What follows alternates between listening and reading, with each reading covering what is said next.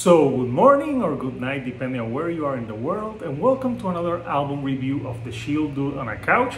I'm your host, Hector, and today we're gonna talk about the 13th new album by Dark Tranquillity, and it's called End Time Signal. So, for those of you that do not know Dark Tranquillity, they're a pioneering band of the Gothenburg melodic death metal style that originated in the 1990s with other bands like In Flames and At the Gates.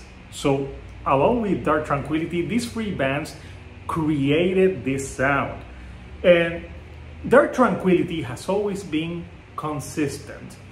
They've all like I, I can tell you there's they haven't released a bad album. Yes, there are albums that are more memorable than others, but they're always good. You know, I always find something great to say about Dark Tranquillity. I've seen them like twice and I can tell you, amazing band live. Uh, Mike Mikael uh, Stanne, uh, I hope I pronounced the last name correctly, the lead singer is one of the best melodic death metal vocalists out there, hands down. The way he enunciates, even when he's in the harsher tone, you can always understand what he's singing. And also when he sings, he truly sings. So very talented. So this album, End Time Signals, to me, really sounds a lot like the continuation of their last album, Atoma. Uh, both in tone and like the structures of the songs. Uh, it's worth mentioning that they, they have a few member changes. So they have uh, two new members uh, join the band. I think it's the, I, I think it's a bass player or I, I don't know who the other one is right now. But yeah, they have new blood coming the band. But you know what? They still sound like Dark Tranquillity. So if I didn't know that, I, I say like, hey, they still sound like what they sound like. So it hasn't altered the sound of the band. You know, they still sound the way they sound. Uh, yeah, they're melodic. They have, you know, uh, keyboard and some effects in songs that they've always had. It's always been a trademark of Dark Tranquillity and it's still there. So before this album came out, we had a few singles out to give us a taste of what the album sounds like, like Unforgivable, uh, Not Nothing, uh, I, and they released the day of the album a new single with Wayward Eyes. So these singles really, when I listen to them, yeah, they had, uh, they were like uh, not that long songs, like four and a half minutes. They followed that formula of like melodic singing, more harsher, uh, some guitar, like guitar tones, like uh, solos here and there, and the keyboard. So they followed that formula.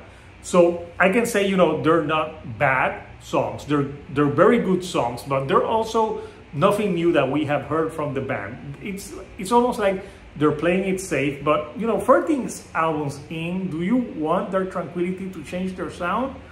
I don't know. I, I like their sound, so I like the consistency of their sound. Uh, like it's not gonna win them like new people that are not like already fans of the band. But if you're a fan of the band already, I think you're going to be very happy with the outcome of this record. So yeah, the, those are the lead singles, but I think the lead singles are not the strongest songs on the record. Uh, they're strong, but I think they kept the best songs for the release. I think uh, releasing Wayward Eyes as a single the day of the release is good because I think that's the strongest song out of the singles they release. It's melodic. It uh, you know Mikael really shows you his vocal range. Uh, again, you know it's the way that the, they play their instruments. You like you can hear it and say, yeah, that's dark tranquillity. It's a guitar tone that they have uh, going with the keyboards and the effects. And that song is a pretty uh, great tune. Uh, pr the production on this record, I gotta say, it sounds great. Every Dark Tranquillity record sounds great. You can listen to every instrument very clearly, very crisp. Some people may not like that because they're like, no, we like it more raw, but it's melodic death metal.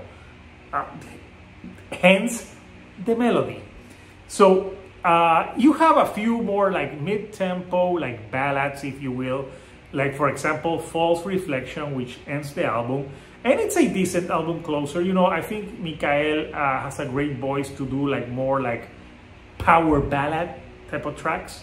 But to me, uh, one of the standouts of the record is One of Us is Gone. It has like that great keyboard piano to it. And Mikael like really soars with his vocals. It, it feels very mournful, you know, like because they're talking about a past member of the band that died and the way they do it is very respectful.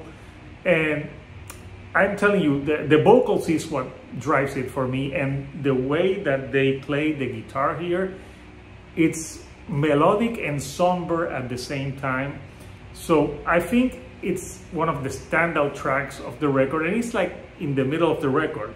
Uh, i forgot to say there was one other single that was released the last imagination that one is a great as well. That's a more mid-paced uh, affair uh, with, you know, some like very fast-paced delivery in the vocals.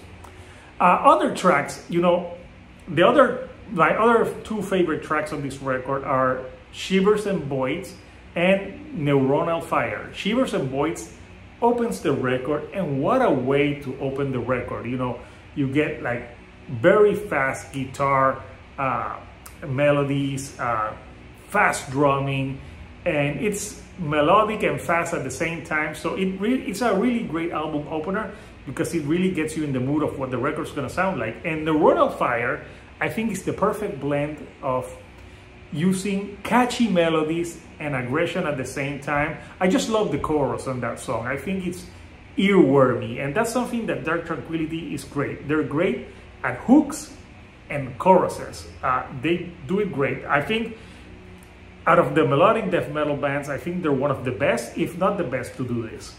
So my final verdict for this album is like, it's not reinventing the wheel. It, you know, it's nothing new that they have done, but they're very consistent.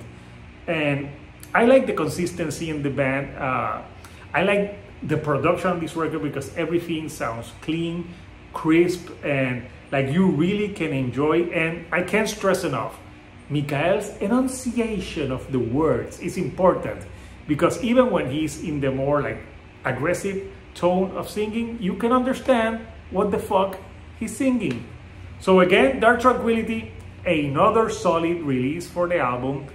Yeah, I, I don't think this is going to like uh, be album of the year uh, or like in the list, but it's another solid release in addition to the Dark Tranquillity catalog.